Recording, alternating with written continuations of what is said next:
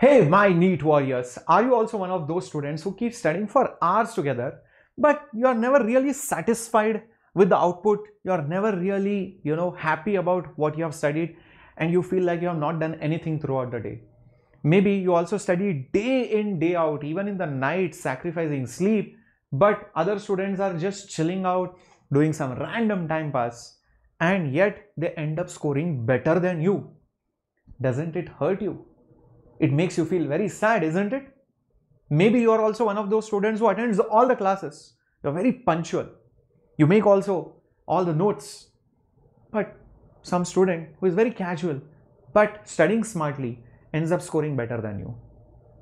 And you are the one who is sitting with a lot of backlogs.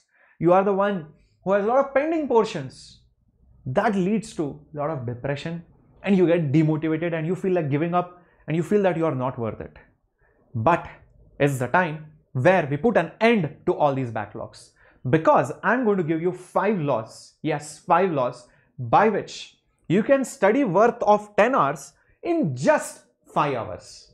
And the 5 hours that you save, you will study for 10 hours more worth of studies in those more 5 hours. So you can see how this video is going to benefit you like crazy is going to be a game changer in your life. So make sure you watch this till the end. But before we begin, I want you to make a small pledge. There might be some portion which is going on in your current school or the coaching. At least don't make that a backlog topic.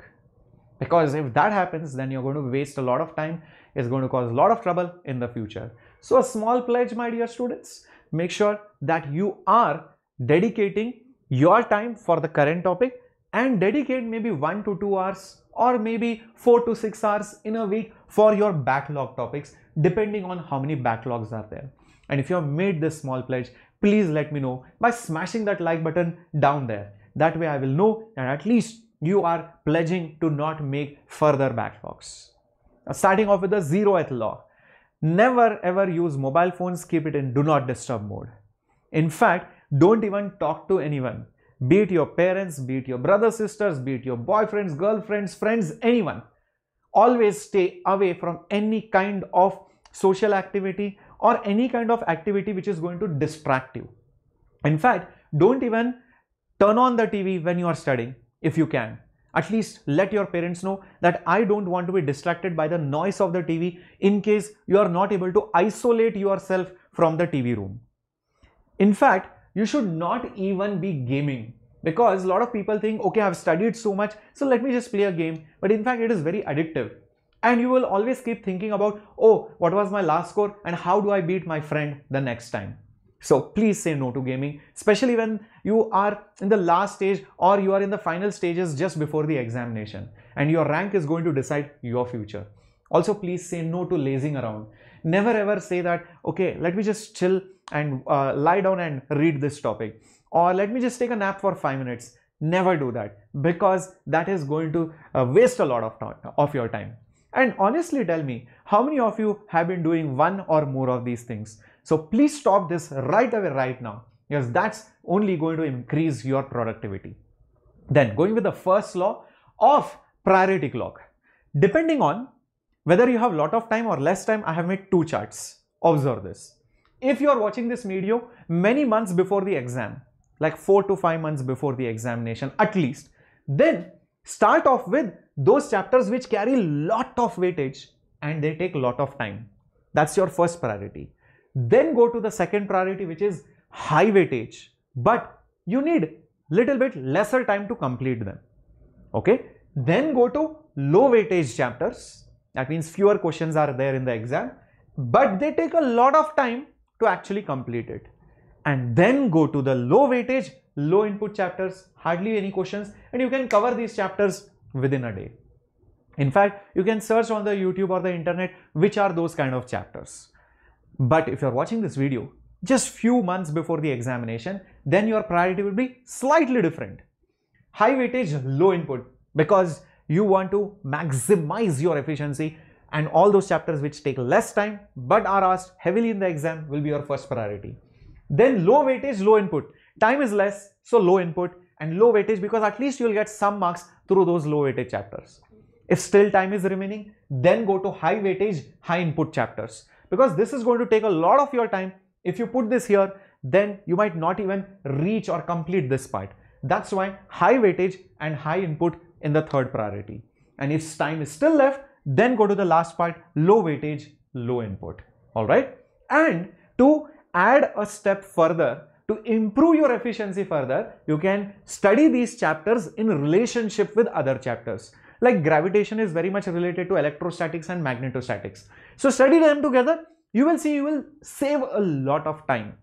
You can always find chapters in even physics, chemistry or even biology or many other subjects where you can study them together which will improve your efficiency like anything, right? So that's your first law. Now the second law of relativity, well, not in physics, but for improving your efficiency.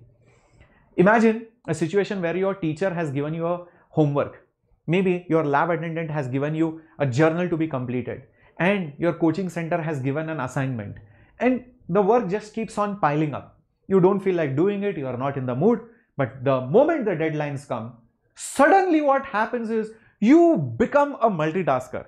You complete the journal, you are able to complete the assignment, you are able to complete the homework, everything. What changes? You are the same person. So the thing which has changed is the thing of deadline. Whenever you set a deadline in your mind, you feel like doing it, you feel like completing the task then and then. So always set small, small deadlines and reward yourself when you complete the deadline. Yes, I did this task. Okay, I did 10 problems. Okay, next I want to do these exercises. Okay, next I want to make these notes. And when you set smaller deadlines, suddenly you will become a more productive, you become a multitasker. The next law is of Pomodoro technique. Some of you might already know it. What you should do is you start studying, let's say for 25 minutes, take a small break of 5 minutes. Again, take, uh, take a break of 5 minutes after studying for 25 minutes. Again, sit for studies for 25 minutes and take a break and again do that. But now take a longer break, maybe 15 minutes to 30 minutes, and then again repeat this. So when you take breaks at regular intervals, and then take a long break after many cycles, then your mind is always refreshed and also you're ensuring that you are coming back from the break after that break is over or else there is no limit to the break because you will always feel like extending the break. So make this as a rule and you will see your productivity and efficiency will go up like anything. So that's your rule number or, or the third law. The fourth law of revision and planning. Well, tell me honestly, has it happened with you that you have studied a chapter and you feel like, okay, it's done and dusted. And then you come back after four months or three months, there is a test, and you suddenly feel like, oh my God, I don't remember anything. I need to study that again. So, whatever you studied then has gone for complete waste. No use of, uh, you know, studying for those many hours. You again have to sit and study that. Why this happened? Because you have not revised it. So, it's very important that maybe on a weekly basis, then monthly basis, or then after two or three months, you keep coming back to those chapters which you have already completed or studied. That way it never goes out of your mind and whatever you have studied has never gone for a waste. And you never have to really do that same studies again and again. Last moment, you can just see those notes you can quickly see all those things which are very important or underlined or highlighted and you can be prepared and ready for the examination.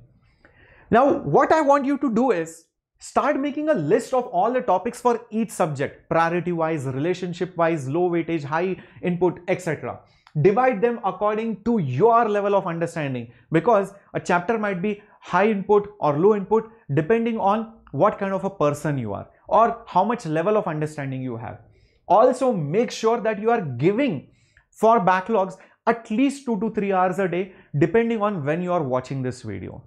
Also very important that you solve the PYQs of all the chapters. No matter which chapter you are studying always after NCERT you are solving the PYQs and if you want those 7 year PYQs for free of course, check out the link which is there in the description box. That way you know you are ready to actually give the final NEET examination. So make sure you check out the link and it is available for free of cost all the 7 year PYQs and make sure that you are also a part of our telegram channel so that you keep getting updates you keep getting those quizzes you keep getting those weekly mock tests and also our handwritten notes free of cost on our study oriented NEET telegram channel which is called as the vedantu NEET english. So i hope you found all these tips and tricks very useful and i want to see in the comment section no more wastage no more waste thank you so much for watching and do not forget to smash the like button as well. Bye bye. Hasta vista. Captain Shreyas signing off.